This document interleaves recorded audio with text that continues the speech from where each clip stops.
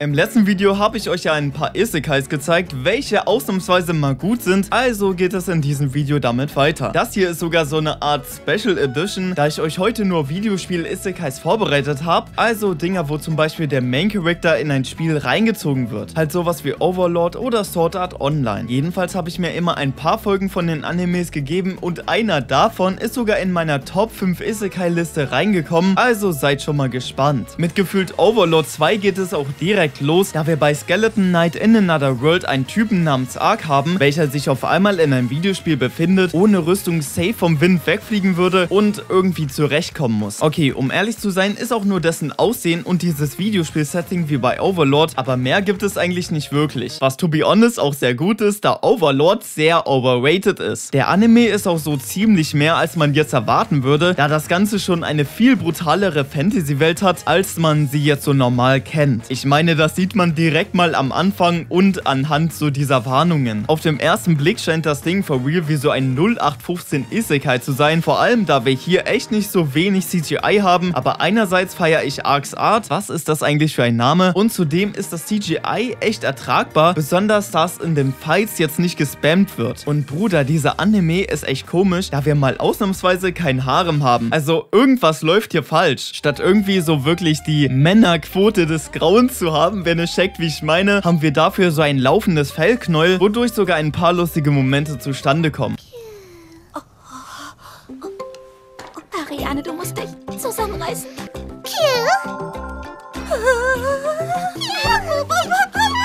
Das Ziel von Ark ist, würde ich mal sagen, auch besonders, da er nicht irgendwie so ein Harems-Hokage oder sowas werden will, sondern basically ist er hier der Antidiskriminierungsbeauftragte, da er die ganze Zeit unterdrückte Spezien befreit und generell gegen so asoziale Adlige vorgeht. Der Anime macht halt irgendwie Spaß und ich denke mal, das ist so die Hauptsache. Das ist zwar wirklich nicht so der Überbrecher, was so Isekais angeht oder generell Animes, aber es ist jetzt auch nicht so komplett Arsch, also für mich so eine 7 von 10. Weiter geht's mit In the Land of Leadale und kennt ihr das, wenn ihr in so einem Videospiel fertig seid und nur noch so diese Sidequests offen sind? Das ist so circa das Gefühl, was man so bei diesen Anime hat. Hier gibt es halt Kana, wessen Lebenserhaltungsmaschinen kurz mal keinen Bock haben, also wie ich beim Comic-Con Communicate gucken, sodass sie deshalb drauf geht. Darauf findet sie sich halt in der Welt von ihrem Lieblingsspiel wieder, wo by the way so 200 Jahre vergangen sind. Irgendwie ist sie hier by the way die jüngste Oma der Welt und macht halt nun wie gesagt so ihre Sidequests, da sie ja schon eh einer der stärksten stärksten in der Welt ist. Ihr fragt euch jetzt sicher, ob das jetzt so ein Anime ist, den man so gut in einer Nacht weggucken kann. Also er hat nur zwölf Folgen, aber ich kann da wirklich so sagen, Hölle nein, weil es ist halt so ein sehr episodischer Folgenaufbau, was man sich immer mal wieder geben kann. Also man kann sich immer so drei, vier oder zwei, drei Folgen geben. Aber ich würde sagen, das ist jetzt nicht etwas, was man so richtig durchgrinden kann, wenn ihr versteht, wie ich meine. Es ist jetzt auch nicht irgendwie sowas, was man für die Action guckt, sondern mehr um herunterzukommen. Aus Außerdem ist es mal wirklich eine Erfrischung oder gefühlt eine Innovation, dass wir mal endlich einen Main Character haben, welcher eine Frau ist, weil so was Isekais angeht, würden mir wahrscheinlich keine 10 Animes einfallen, wo das der Fall ist. Maximal vielleicht so Sage auf Tanya the Evil, Kuma Kuma Bär. Ich glaube so dieser Spinnen-Isekai, aber den muss ich noch gucken. Aber sonst glaube ich nicht mehr inklusive dieses Ding. Und Alter, ich liebe es wirklich, wie Kana drauf ist, da sie wirklich so ein bisschen wie ein Psycho wirkt. Und? Wie Willst du sie beruhigen? Vielleicht ja so. naja, so? das ist für Mutter.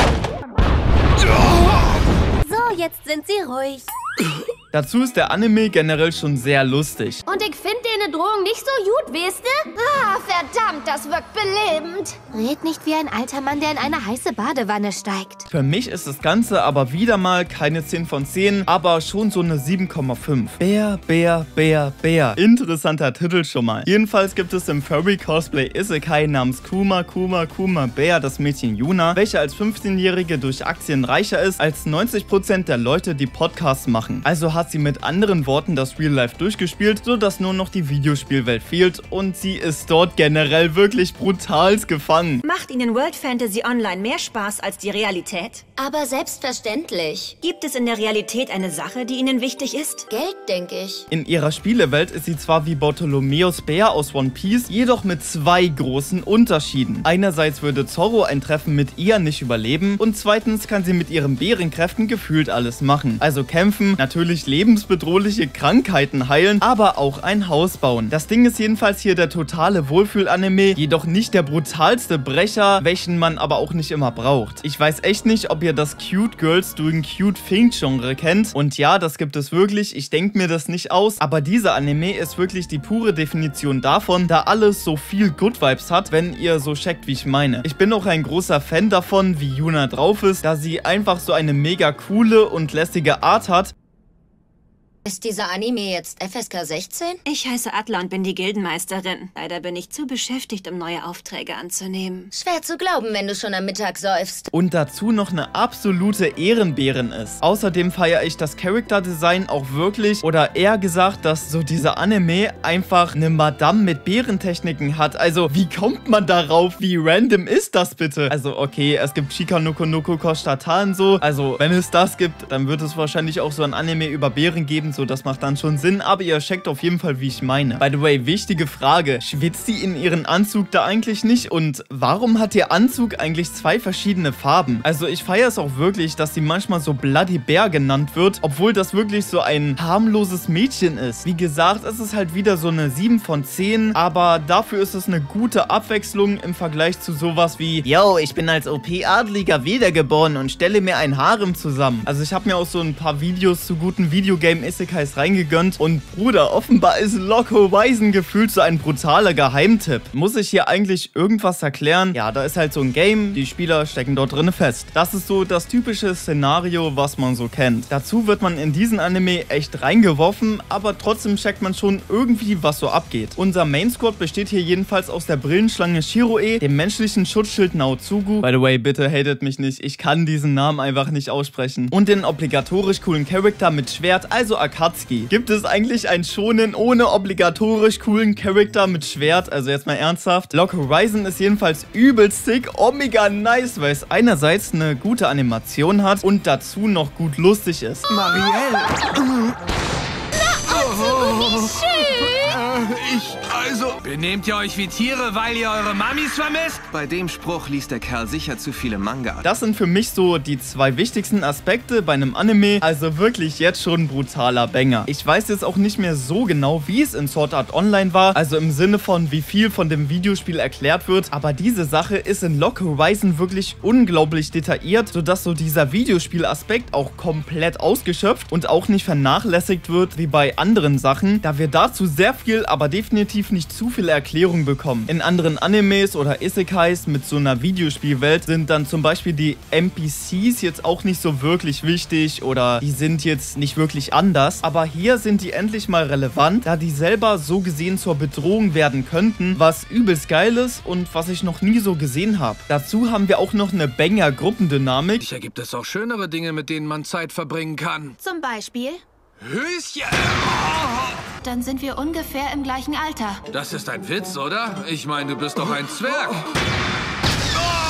Und endlich mal ein Charakter mit Brille, der Loki ein Badass ist. Und nein, Urio aus Bleach ist kein Badass. In diesem Anime haben wir halt auch wirklich unglaublich geile Kämpfe, aber die sind immer voller Taktik. Und generell würde ich sagen, dass es auch ein sehr taktischer Anime ist, da Shiroe zum Beispiel stärkere Gilden outsmarten muss, um so gesehen Streitigkeiten und so weiter unter den Spielern zu verhindern. Also ja, ihr seht schon, dass ich diesen Anime definitiv nicht hasse. Im Großen und Ganzen ist der Anime für mich entweder eine 8,5 oder eine 9 von 10. Aber ich glaube, von dem Ganzen gibt es drei ganze Staffeln, also über 50 Folgen und ich habe mir halt erst so 10 gegönnt. Also ich denke mal, das könnte sogar noch geiler werden. Natürlich könnte es auch schlechter werden, aber wir hoffen mal nicht. I'm Standing on a Million Lives ist wirklich cool und irgendwie anders. Hier wird nämlich Josuke von seinen zwei Mitschülerinnen in ein Game reingezogen, wo sie einen gewissen Game Master befriedigen müssen, indem sie einerseits in-game, aber auch im Real-Life Aufgaben erfüllen. Und Alter, endlich mal ein kreatives Szenario, wie man in die andere Welt kommt. Das Ding ist dabei auch wirklich nice, wie es die Sache mit den Sterben behandelt. Es kommt nämlich nicht darauf an, dass man stirbt, sondern eher wann man stirbt, spielt eine Rolle, da man immer wieder belebt wird, solange noch eine andere Person lebt. Also ich glaube, hier kommt Yuskes Death Counter wirklich so ein bisschen an den von Subaru aus ReZero ran. Es ist auch endlich mal nice, dass wir ein Anime oder ein Isekai mit Level-System haben, wo die Charakter eher schwach sind, statt irgendwie overpowered. Generell feiere ich auch wirklich Yusuke Maske, da ihm so gesehen egal ist, dass er draufgehen könnte, solange es für ihn spannend ist, weil er halt sein normales Leben so hasst. Also seine Adrenalin-Junkie-Art erinnert mich irgendwie so ein bisschen an Inka aus Fire Force, wenn ihr checkt, wie ich meine. Dazu ist er wirklich noch so ein bisschen kalt, beziehungsweise Loki ein Sigma. Außerdem finde ich die Kämpfe wirklich überdurchschnittlich nice, da sie durch dieses Yo, du kannst dir mal einen Tod erlauben, auch so einen neuen Aspekt kriegen und so ein bisschen grausamer werden. Aber ich würde jetzt nicht sagen so, dass die Kämpfe so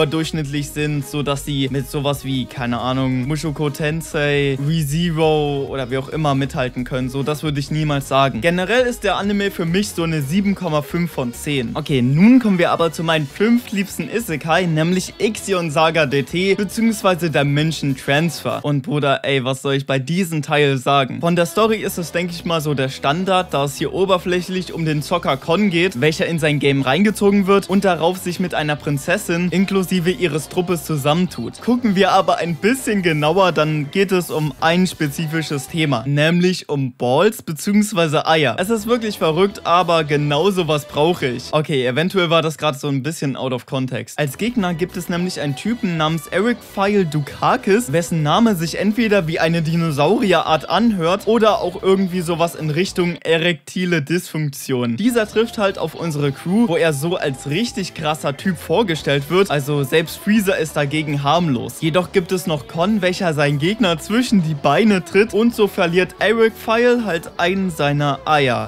Das Lustige ist halt, dass dadurch seine Balance im Arsch ist, also kann er dann zum Beispiel nicht mal mehr mit einem Panzer vernünftig zielen. Ihm wird dann sogar noch das andere Ei genommen, sodass er dann wenigstens eine gute Körperbalance hat, jedoch halt dann keine Eier mehr.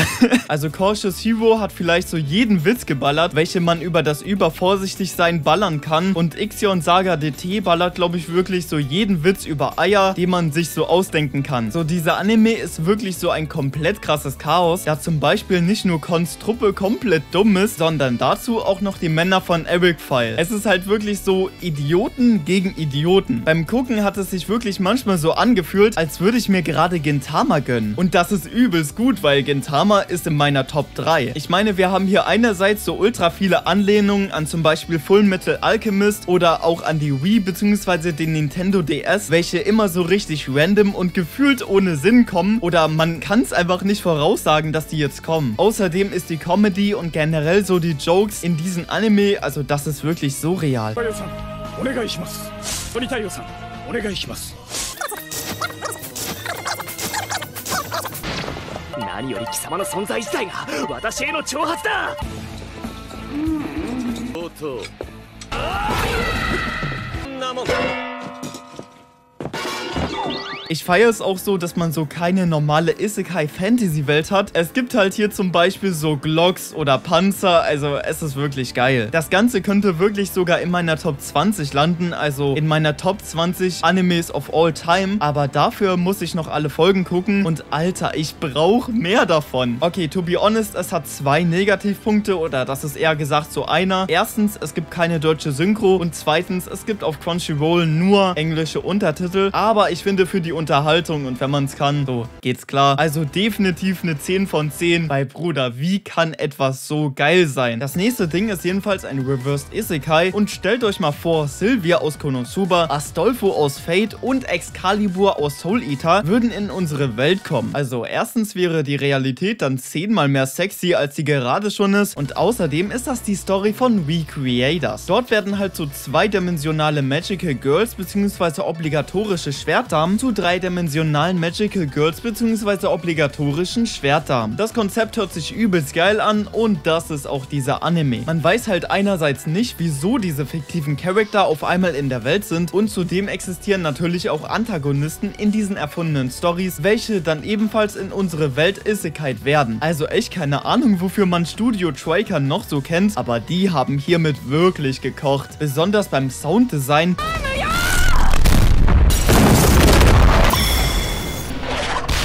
Und den Animationen. Ich glaube, von den Kämpfen und dem Vibe her ist das hier mit den letzten wirklich so das Geilste, da die Stimmung wirklich dauerhaft angespannt ist, was ich wirklich fühle. Außerdem, und das wird 100% ein Hottake sein, wenn ich mich hier irgendwie falsch ausdrücke oder wenn ich irgendwie falsch verstanden werde, aber am Anfang gibt es halt einen Charakter, welcher sich selber entsorgt und ich liebe sowas, natürlich nur in Animes und Manga, da es, also falls es richtig ausgeführt wird, super krass emotional sein kann. Das ist halt die beste Darstellung von Verzweiflung, die man so bringen kann. Dazu feiere ich es, dass die fiktiven Charakter so unterschiedlich sind. Also wir haben hier eine ultra bösartige, dann eine relativ normale, dann das typisch kindische Magical Girl und zum Beispiel noch so ein Mädchen, was so übelst erwachsen rüberkommt. Ich habe mir wie gesagt von allen Animes nur so ein paar Folgen gegönnt, sonst kann ich dieses Video gleich so, keine Ahnung, 2029 beließen. Und Recreators werde ich definitiv weiter gucken, weil, sagen wir es mal so, ich lasse mich gerne spoilern und ich habe da schon ein paar Sachen gesehen, die in die blutige Richtung gehen und ich feiere sowas. Generell gibt es irgendwie zu viele Isekais, also ja, das sollte irgendwie klar sein, aber Bruder, wir brauchen definitiv mehr Reversed Isekais, denn da ist noch so viel Potenzial offen. Für mich eine 9 von 10. Okay, Shangri-La Frontier ist jetzt nicht wirklich so underrated oder eigentlich gar nicht, aber ich habe jetzt jedenfalls im deutschen Raum nicht so viel darüber gehört und außerdem schadet ein Anime mehr jetzt hier auch nicht. Abgesehen von Ixion Saga DT, ja, ich bin bei der Sache oder bei dem Anime wirklich ein brutaler Glazer, ist das für mich der beste Anime in diesem Video und holy ist das geil. Wir haben hier Rakuro, welcher eigentlich nur schlechte Spiele spielt, aber irgendwie dann an Shangri-La Frontier gerät. Oh mein Gott, der Anime-Titel wird genannt und dort rasiert er durch seine Erfahrung so ziemlich. Außerdem gibt es noch Ray, welche viel zu kompliziert denkt, sodass sie das Game mit der Dating-Plattform Valorant verwechselt und nun im Spiel Rakuro von sich überzeugen will. Elris. Und ich hätte nie gedacht, dass ich jemals einen fiktiven Ingame-Hasen so sexy finden würde. Naja, vor dem Anime kannte ich jetzt auch nur so Hasen aus Mario Odyssey, aber ja. Generell ist das Ding wirklich unglaublich sick, besonders durch die Bänge-Animation und durch die Action. Absolut eine 10 von 10, aber natürlich schlechter als Ixion Saga DT. So Leute, falls ihr irgendwie weitere Isekais habt, die wirklich nice sind, dann schreibt es ruhig in die Kommentare. Ich habe jetzt nicht nur 10 von 10 Animes in diesem Video drangenommen, weil natürlich so Videospiel-Isekais, davon gibt es nicht so viel wie normal Isekais. Macht ja Sinn. Vergesst auf jeden Fall nicht, den Kanal zu abonnieren und die ganzen anderen Sachen so, yo. Und dann würde ich mal sagen, bis zum nächsten Mal. Tschüss, Siekowski.